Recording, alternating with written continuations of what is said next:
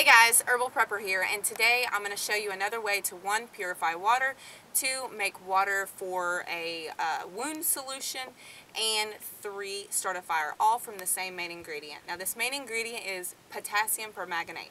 Now you will need a secondary ingredient like antifreeze or glycerin, but as of right now, if you are in the woods, I see no reason to carry around a jug of antifreeze. Now you might actually carry around glycerin. I personally do. I do this for one uh, well, two or three reasons really, but the main reason is one, it's used as a sweetener that's not going to spike a diabetic sugar. Um, it's also used, as you can see here, I've told you in the past that I actually use, I used to use, I don't use so much anymore with my son because he's now older, but I used to use glycerin for um, like a sweetening agent in bitter herbs. So uh, something uh, that I was going to make like a tincture, I could actually extract the properties into the glycerin and then give it to my son and he wouldn't turn his nose at it. So um, that's another reason, a few reasons why you might actually carry glycerin in your bag. And like I said, it's a sweetener that's not going to affect your sugar. All right, so um, ways that you would use it as a wound wash. Basically the same thing that you're going to do with turning um, non-potable water to potable water. The only difference here is the amount that you're going to use. Now, if you're going to use this, make something that's potable water, you're going to use a very small amount, guys, extremely small amount. Um, you're going to turn your water a light pink. Now, this is just tap water, guys. I just wanted to show you how potent this stuff is. Now, if your water turns dark purple, you need to add, one, add more water, or two, throw that away, because if it's too dark, it can actually be toxic. So if you're going to ingest it um, to, to make water potable to drink, you want it to be a pink and a light pink at that. If you're going to use it as a spray or a wound wash to prevent um, you know, things from turning septic, then uh, it can be a darker, you know, purple. Uh, if you're going to use it like an antifungal or antimicrobial on your athlete's foot, then that's fine. It can be darker as well. But just to give you a run through of how potent this stuff is, I'm going to show you real quick. Alright guys, so this is potassium permanganate. I recommend being in a well-ventilated area, also using non-reactive containers. So as you can see, um, I like to always use plastic over my um, tinctures and stuff like that. I've told you guys in the past, but I also do the same thing if I'm going to um, put something that's going to react to something else in my bug out bag. Um, so I'm going to store this in vials um, and it's going to have a natural cork on the top. Now you can use something that's uh, not going to react to potassium permanganate, but I just use cork because that's what I have. And then I'll take that and stick that into a vial. And then I'll have another one with my glycerin completely separate from each other, okay? Just in case if anything spills out in your bag.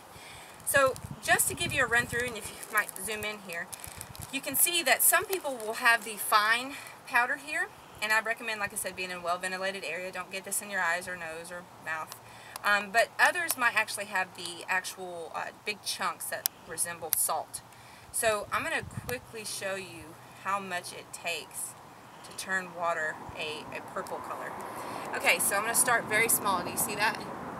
Okay, so we're going to actually, that right there, that tiny amount is all you would need to make a wound wash solution.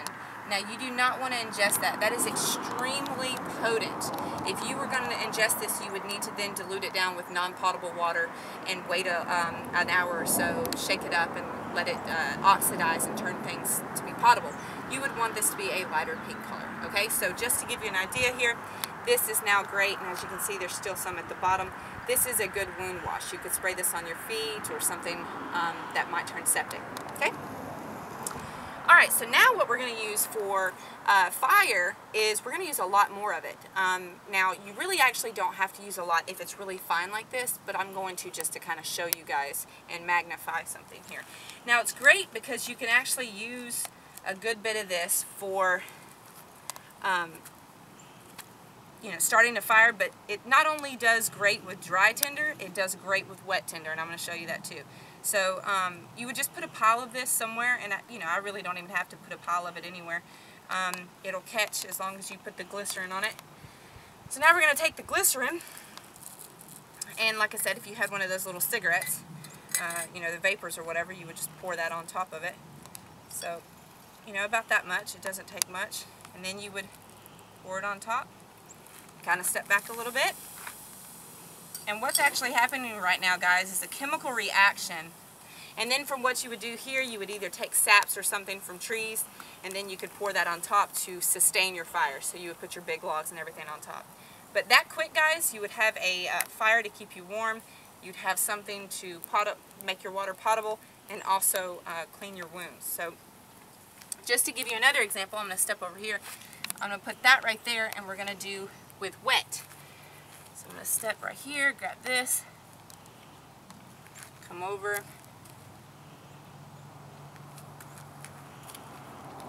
and do the same thing here.